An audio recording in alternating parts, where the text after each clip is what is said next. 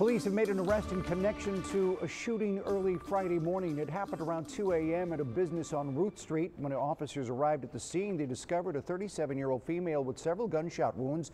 Witnesses report that the shooter entered the business, walked up to the victim, called her by name before shooting her. The victim was then transported to the hospital in stable condition. The shooter has been identified as 33 year old Jessica Puebla, was tracked by the CCPD gang unit.